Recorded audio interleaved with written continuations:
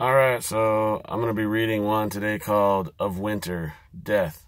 It was one I wrote just hanging out by the river, looking at the change of season from winter to spring and the carnage that was on the ground. Uh, here goes.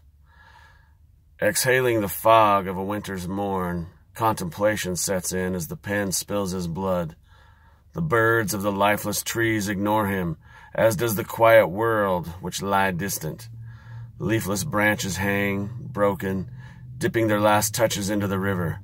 All is calm on the surface, but certain doom lies within the slow, persistent current. The death of winter approaches silently, taking only a few lives, lest it be left alone to vanquish even itself without recognition. Glimpses of life and renewal lay hidden beneath the carnage of the season. Hues of demise suffocate even the most hardy of tendrils and sprigs.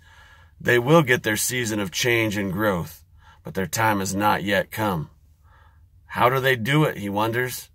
How do they stay silent among the ruin of their former selves?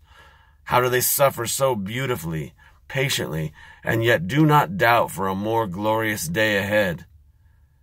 His heart diminishes, for he has not a part nor purpose as they do in the world. And yet he clings to a hope that the sun may one day shine for him as for them, that he will feel the warmth of a new season amongst the fading shade of winter, death. As always, thanks for listening. Take care of yourselves and take care of each other. Herzberg out.